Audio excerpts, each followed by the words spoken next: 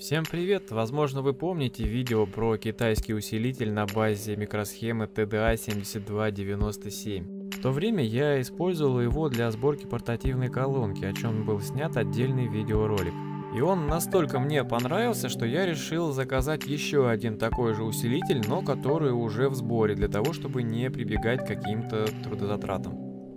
Этот усилитель хоть и на той же микросхеме, но внешне выполнен совсем по-другому. Сразу укомплектован регулятором громкости всеми разъемами, а все элементы на плате выполнены в виде SMD компонентов. Имеет свои минусы и свои плюсы. В общем, обо всем смотрите в данном обзоре. Так, очередной усилитель, который был заказан с Китая. Вот такая вот маленькая платка. Стоимостью в то время на рубли была 150 рублей.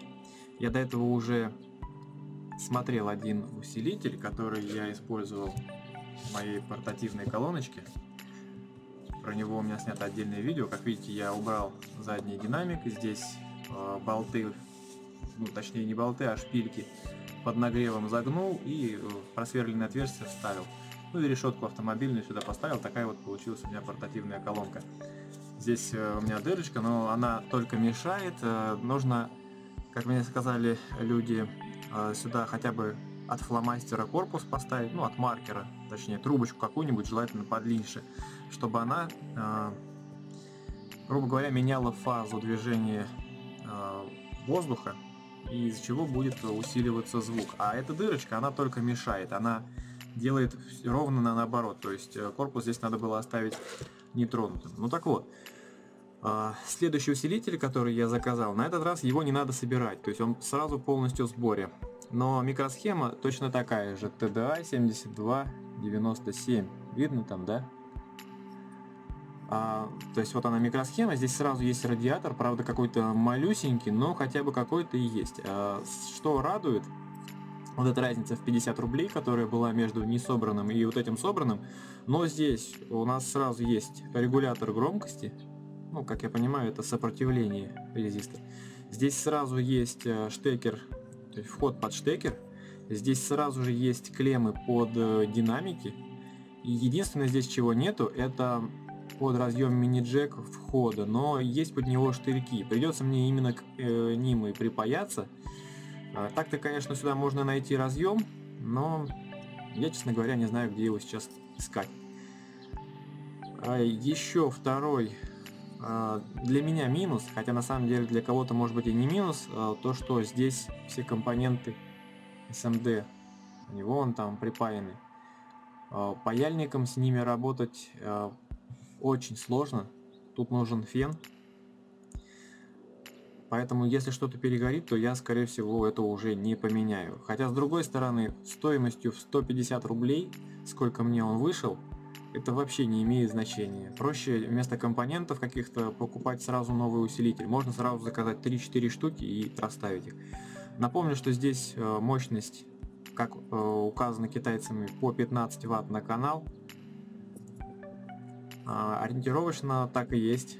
А, дело в том, что ну, 15 Вт э, все кто более-менее разбирается, знают, что вот эти вот характеристики, они бывают очень разными. То есть в эту мощность можно мерить совсем по-разному. То есть тот же наш усилитель ламповый мощностью в 2 Вт может превзойти там какие-то другие китайские усилители, в которых будет написано и 15, и 20 Вт, потому что они просто по-разному меряются. Где-то меряются прям на пике, где-то меряется то есть стабильная работа, поэтому тут уже не идет в расчет. Что ж, попробую собрать из него еще одну портативную колоночку и попробовать на звук. Да, кстати, еще расскажу такой момент, что мощность здесь зависит от э, входного напряжения, которое мы будем сюда подключать. Здесь можно как и от 9 вольт подключить, также от 18, можно и больше. Э, только придется менять тогда радиатор, потому что греться микросхема будет очень сильно. Она и без того греется сильно. Меня, честно говоря, удивило, какой он маленький этот радиатор.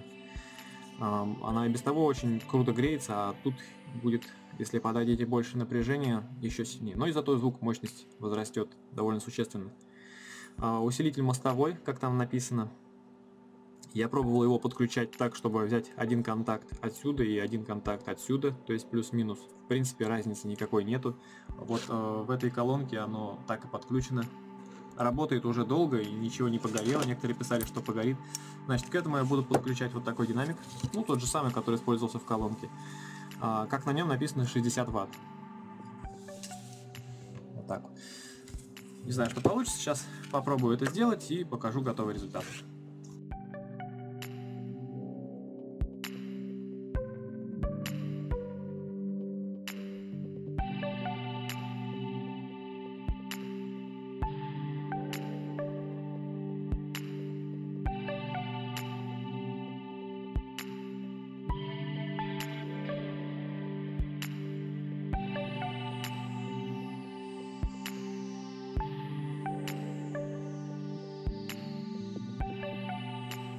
Итак, ребят, усилитель собран. В общем, тут припаяно на первый канал. И тут выход тоже с первого канала. Конечно, желательно два динамика, потому что тут он двухканальный усилитель. Но вообще пофиг абсолютно. Так, соединяем аудио. И при соединении питания, как видим, немного щелчок такой раздается на динамике. Диод загорается. Это тоже прикольно, в той модели его не было. Ну и давайте попробуем, как он звучит.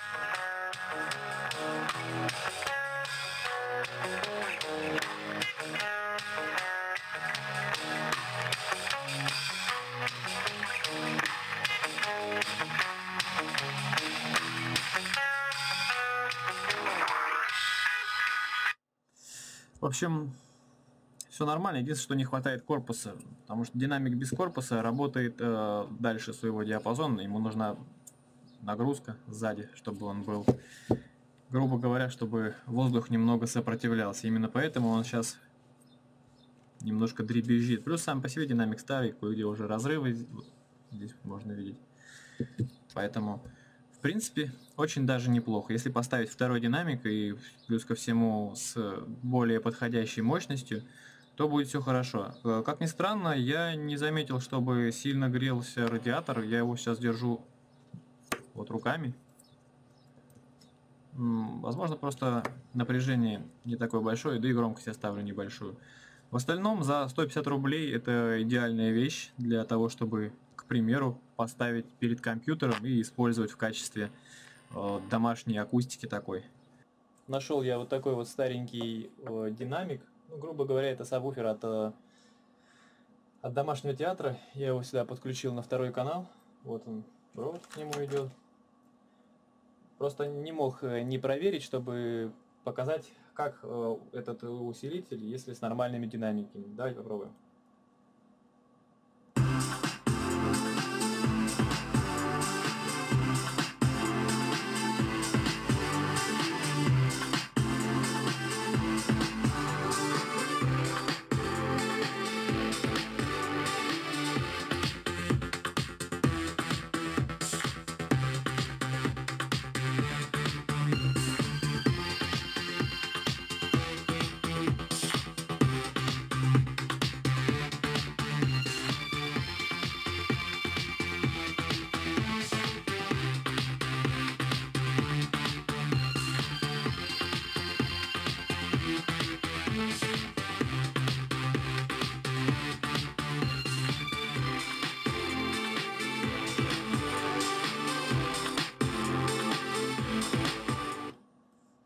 По-моему, весьма неплохо. Начался нагрев у радиатора. О, и сразу уже прекратился. Очень быстро он его отдает. Штуковина вообще отличная, если у вас есть какие-то динамики, может быть такие, либо вот как у меня висят. То есть, э, если осталось что-то, к примеру, от домашнего театра сгорела у вас главная вот эта основная, как ее называют, голова, главный блок, то, пожалуйста, ставите вот такую штуку и все играет. Либо в машину, даже для машины. Ну, тут, конечно, всего два канала, но, по-моему, это супер вариант. фона, как ни странно, в отличие от э, прошлого усилителя, здесь практически никакого нет. И, как видите, я не очень-то хорошо все это дело э, пока что спаял. В общем, штуковина прикольная. А ссылка на него указана в описании под этим видео. Это то место, где я его покупал. В общем, такое мое испытание, такой обзорчик. Если вам он понравился, не забудьте поставить лайк. А, если хотите и дальше смотреть мои видео, то можете подписываться на канал. На этом все. Всем спасибо за внимание и пока.